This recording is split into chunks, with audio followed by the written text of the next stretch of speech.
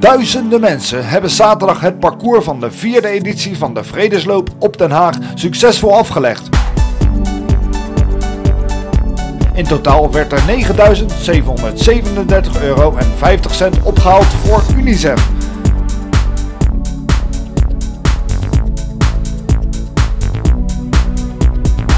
De opbrengst is hoger dan vorig jaar. Deden er in totaal 8000 mensen mee, die samen bijna 9000 euro binnenhaalden.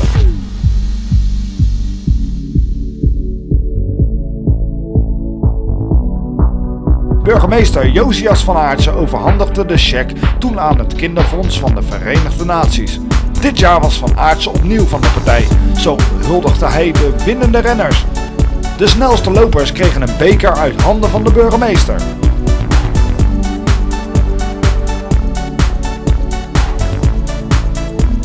Renners konden kiezen uit vier afstanden. Anderhalf kilometer, 2,5 kilometer, dit allebei voor kinderen, en 5 tot 10 kilometer. Er zijn prijzen voor de snelste mannen en de snelste vrouwen te verdienen. De run rondom het Vredespaleis is een onderdeel van Just Peace Festival in Den Haag. De Vredesloop heeft een vaste plaats in het jaarlijkse Vredesweekend.